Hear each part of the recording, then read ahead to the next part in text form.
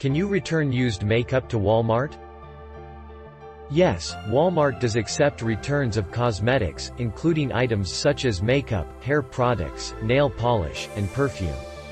According to company policy, customers can receive a refund on health and beauty products if they return the item in its original packaging within 90 days of the purchase date.